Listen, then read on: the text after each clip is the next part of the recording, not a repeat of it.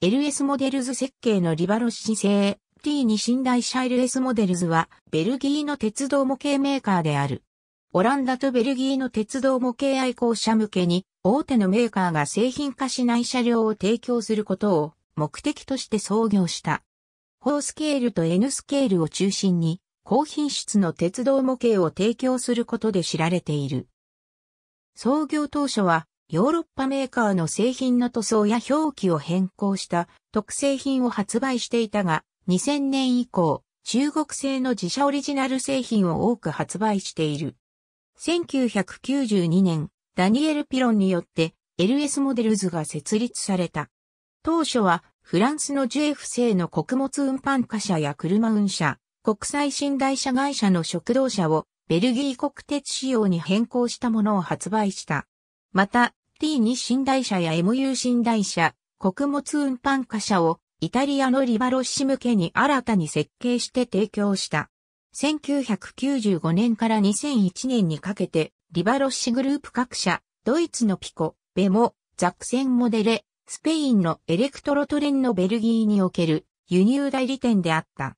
1998年からザクセンモデレと共同で新製品の開発を開始したが、後にザクセンモデレが倒産すると中止された。2000年に元ザクセンモデレのヘルムート・リヒターマーと新たに設立されたヘリス社と共に中国のモダンゲラ社を下請けとして鉄道模型の開発を開始した。モダンゲラ社における最初の製品はベルギー国鉄の I10 客車であった。この製品はベルギーの鉄道愛好者団体であるフェブリュレイルで2001年に今年の模型賞を取った。この後、フランス国鉄の牛客車や旧 PLM 鉄道の三軸客車、グランコンフォール客車を発売し、これもフランスで受賞した。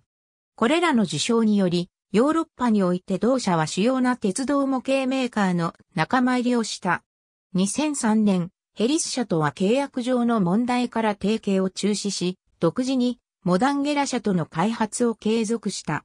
2008年には、コラユ客車でオーストリアのローコと対決することになった。LS モデルズ製コライユ客車 LS モデルズ製旧 PLM 鉄道三軸客車多くの製品は1回限りの限定品で再生産される際は仕様などが変更されることが多い。主に4スケールで展開されているが、一部 N スケール製品も発売している。ベルディ国鉄、フランス国鉄、オランダ国鉄の車両を中心に展開しているが、ルクセンブルク国鉄、スイス国鉄など他のヨーロッパ諸国の車両も発売している。サイトでエラコンパニー、ハットサイトでエル、オーガナイザタージュ、モーデルでエルアネ、EN ベルジックの2001年分が、リンク切れのためキャッシュを検索したものサイトモダン柄。ありがとうございます。